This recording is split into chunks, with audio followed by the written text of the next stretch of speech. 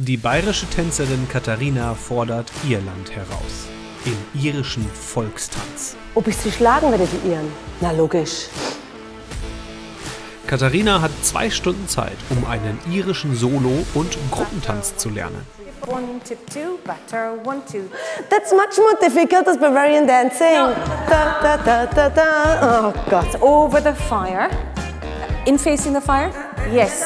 Skip one, two, three. Skip one, two, three. Dass ich da so ackern muss, das hat mir keiner gesagt. Eine letzte Probe mit dem Ensemble, ein letzter Soundcheck. Okay. Ich habe es im Park noch geübt und so. Und dann war es plötzlich weg. Ich brauche mehr Platz. Hi.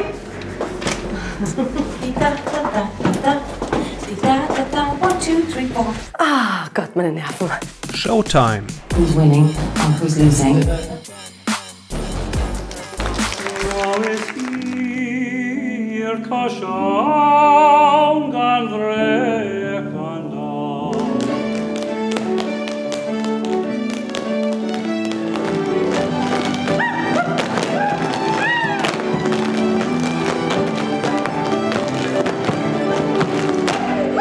Katharina muss 104 Dezibel schlagen.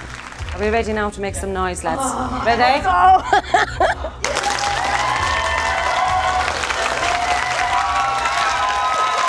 So knapp. Katharinas Score 103. Ah, das sind schon Zahlen. Um, I was very proud of her. It was a success. Aber voll, hey, ich kann voll abrocken jetzt hier.